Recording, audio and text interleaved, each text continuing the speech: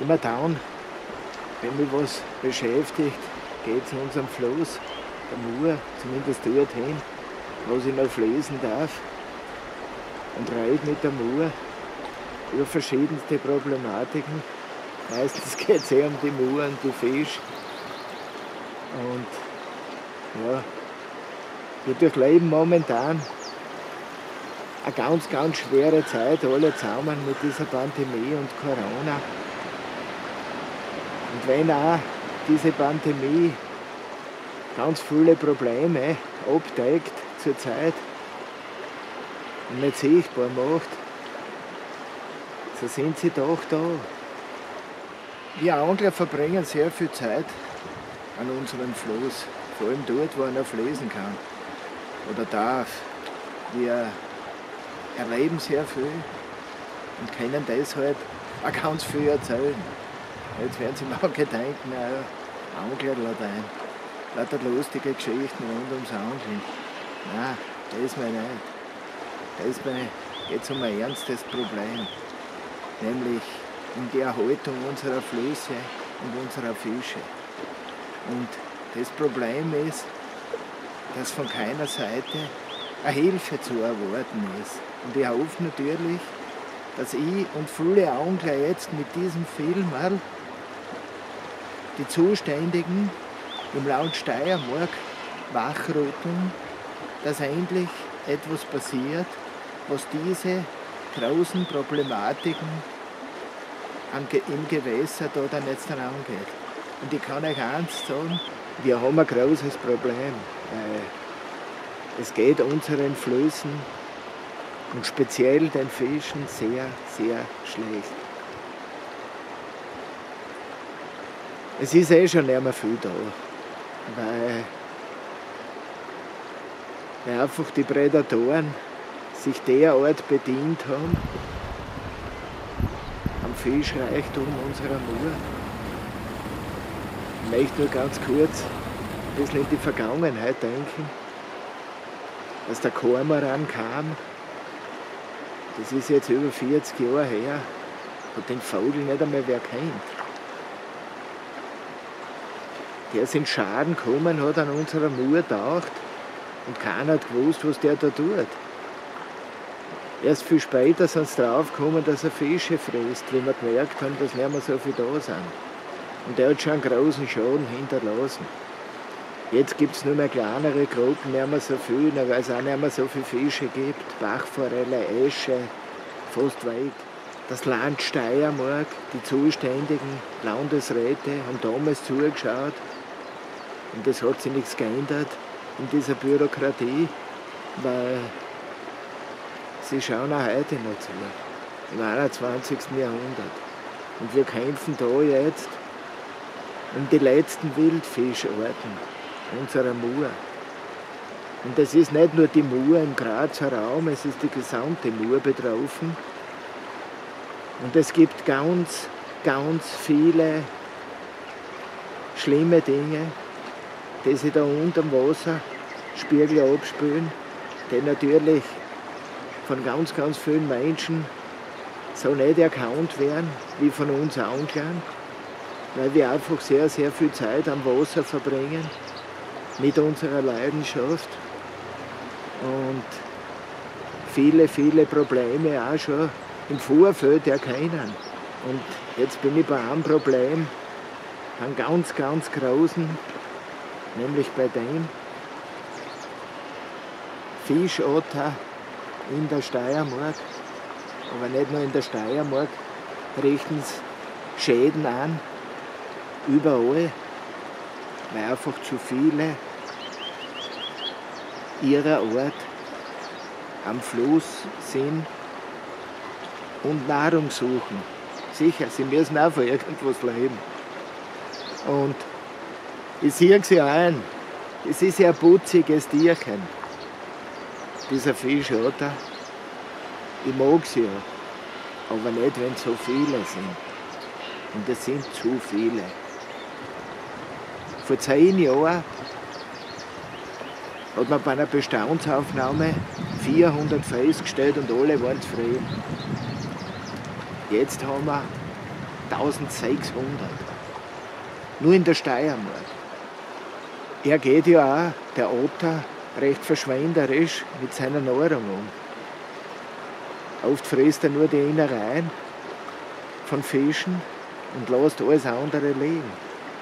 Dass sich das natürlich kein Ökosystem, schon gar nicht in der jetzigen Zeit, leisten kann und nachproduzieren kann, ist auch an jedem klar. Also es muss irgendeine Lösung muss her, damit diese so leidige Problematik endlich aus der Welt geschaffen wird. Der Fischotter ist das Wappentier vom Naturschutzbund Steiermark. Und selbst deren Präsident Johannes Geb, den ich sehr schätze, sagt, Zitat aus der Broschüre, wir müssen alles tun, dass sich wieder ein natürliches Gleichgewicht zwischen Otter und Fischbestand einstellen kann. Wahre Worte. Also, jetzt liegt es an der Landesregierung zu handeln. Und bitte, handelt schnell, damit wir ein bisschen was neu erhalten können. Das ist eh grotesk, nicht? Wenn man alles zusammen hernimmt. Wir wissen, dass die Wasserkraft scheiße ist, dass sie alles zerstört und kaputt macht. Und trotzdem fördern wir sie und bauen weitere Kraftwerke mit diesem erneuerbaren Ausbaugesetz. Man weiß, wie viele Millionen in die Hand und unterstützt diese Kraftwerksbetreiber bei den Bauten. Ja, auf der anderen Seite dann wissen wir alle zusammen, auch der im Ministerium, dass es unseren Flößen und Bächen nicht gut geht, nehmen wir wieder 200 Millionen in die Hand für die Renaturierung der Flüsse und Bäche, weil laut Wasserrahmenrichtlinien, EU-Vorschrift, müssen unsere Gewässer bis 2027 einen guten ökologischen Stand aufweisen. Was machen wir? Wir zerstören munter weiter. Sie glauben wirklich, die Natur mit sehr viel Geld neu erfinden zu können. Aber das wird nicht funktionieren, weil man kann nicht einen toten Fluss 10 Meter daneben neu erfinden. Dafür reichen viele, viele, viele Millionen nicht aus. Wir haben bereits 5500 Kraftwerke in Österreich, 32 an der Mur. Wir leisten unseren Obolus. Ich glaube, irgendwann muss genug sein. Aber sie haben nicht genug. Sie sind wie Vampire. Sie hören nicht auf, unsere Natur auszusaugen, bis nichts mehr da ist. Und weil wir gerade bei der Energie jetzt sind, die uns Menschen der Fluss gibt, die Wasserkraft wirbt immer mit erneuerbarer Energie, mit grünem Strom. Ich frage mich, was da grün ist. Wenn ich die Bilder nur von dieser Problematik aufzeige, weil es gibt ja ganz viele andere rund um der Wasserkraft, und was erneuerbar ist. Wenn ein Fluss und das Ökosystem außer Fugen gerät, bitte, dann ist doch durch diese Zerstückelung und dem Zubetonieren unserer Flüsse nicht irgendwas nachhaltig und erneuerbar. Ja, ganz viele Gelder werden natürlich für Maßnahmen verwendet, die nicht viel bringen. Ich sehe es auch nicht für richtig, wenn die Landesregierung in Zäune investiert, weil der Otter solche Schädigungen macht, weil das nicht die Lösung des Problems ist. Und ein Fluss, so wie die Mur, den kann man nicht einzäunen. Das geht einfach nicht. Also müssen andere Maßnahmen her. Es sollte diesen Teichwirten, die betroffen sind, die Genehmigung erteilt werden, alles zu unternehmen, um die Otter von ihrem Hab und Gut fernzuhalten. Das wäre die Lösung. Und das Geld, was hier reinfließt, das gehört eigentlich in den Gewässerschutz gesteckt. Und weil wir gerade beim Geld sind, habe ich noch eine Frage. Und zwar jeder Angler bei uns in der Steiermark zahlt einen behördlichen Beitrag jährlich von 29 Euro. Was passiert mit diesem Geld eigentlich? Wo versiegt das? Wenn mir es zu Ohren kommen, dass nur sehr, sehr wenig, nämlich 4 Euro, zurückfließen. Und das kann es, glaube ich, auch nicht sein. Und wir Angler sind viele. Also da muss einiges an Geld in falsche Löcher fließen. Die Wasserkraft, unsere Politiker und die Arroganz unserer Behörden ist schuld, dass unsere Flöße und Bäche kaputt sind. Ihr alle zusammen seid für uns eigentlich und für weitere Generationen eine ganz, ganz große Enttäuschung. Ich weiß es nicht warum, aber wir Menschen haben eigentlich das in uns, dass wir alles schön malen. Aber die Schönmalerei, die muss dann ein Ende finden, wenn es um leidende Tiere geht. Diese leidenden Tiere sind, wie soll es auch anders sein,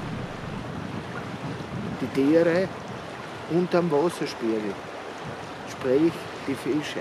Darum ist es wichtig, wenn wir schon von Artenschutz sprechen, dass dieser auch für alle Arten gleich angewendet wird. Es kann nicht sein, dass bestimmte Arten putzige Streichelarten, Federwild etc. dem Fisch vorgezogen werden. Wenn schon Artenschutz, dann muss er für alle Arten gelten. Auch für die Fische. Und wer einen einseitigen Artenschutz vertritt, der macht sich mitschuldig, wenn weitere gefährdete Arten verloren gehen.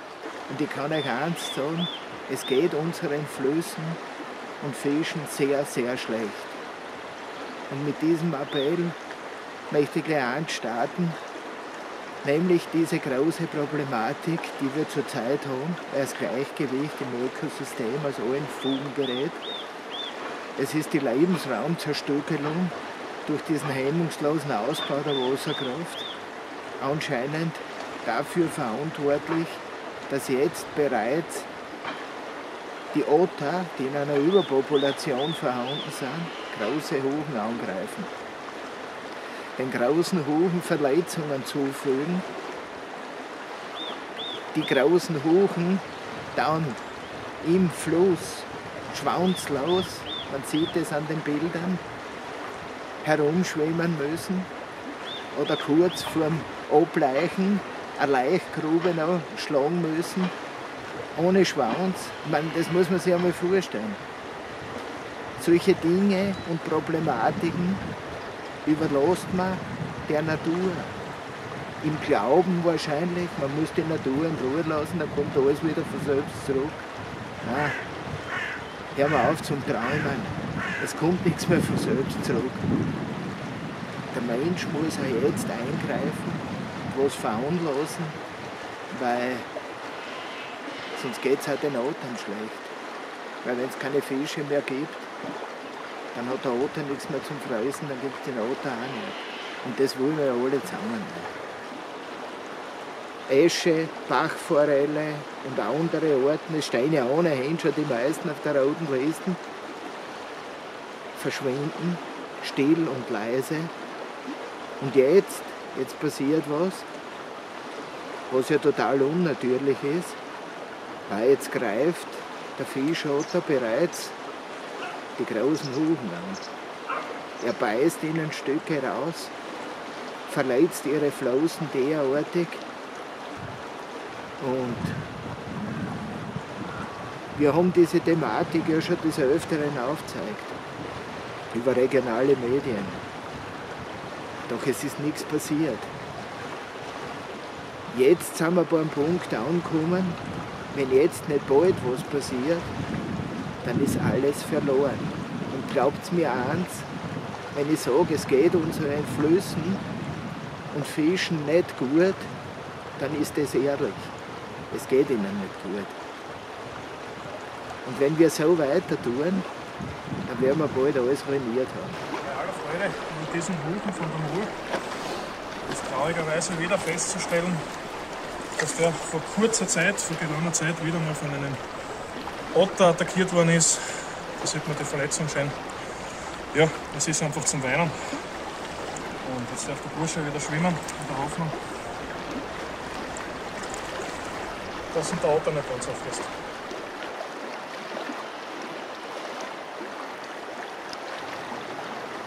Hier sieht man auch ganz klar eine Otterverletzung. Leider Gottes muss man dazu sagen, dass der Huchen nicht mehr wegschwimmen wird, weil er verändert ist. Und auch am Schwanz weist der Fisch ganz, ganz klare Verletzungen auf. Wie das natürlich dann in einem Anglerherzen wirkt, brauche ich glaube ich kein Fischliebhaber erklären. Das tut einfach weh.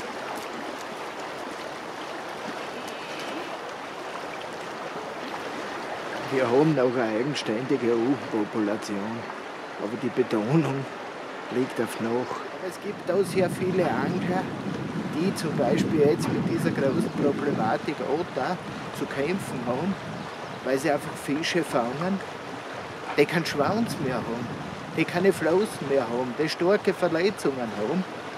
Und das kann es nicht sein, dass man da ständig wegschaut und nichts unternimmt. Leider Also bitte. haben beide Otterverletzungen. Wir rütteln euch jetzt wach mit diesem Video und mit diesen Bildern. Schaut euch diese Bilder an. Schaut es euch gut an. Ja, das sind die Bilder der Realität. Und wir hoffen, dass wir noch eingreifen können und ein Gleichgewicht herstellen können in unserem Ökosystemfluss. Nur da müssen wir alle zusammenhelfen. Und das muss sich viel ändern. Ja, und wenn ihr es bis daher geschafft habt, dann weiß ich, es war nicht umsonst, das Filmen. Ich weiß, es dauert ein bisschen lang, aber das war ganz einfach wichtig, weil wir die ganzen Problematiken, die sich da aufgestaut haben, möchte ich mal sagen, reinpacken wollten und euch zeigen. Jetzt seid ihr natürlich hier am Zug, helft mit, unsere Flüsse und Fische zu schützen, indem sie das Video an recht viele verteilt. Unsere Natur hat sich das verdient und weitere Generationen, dass wir was erhalten. Also ich seid auf euch und auf unseren Fluss und auf die Fische, weil wir lassen die Fische nicht im Stich. In diesem Sinne, flussfrei.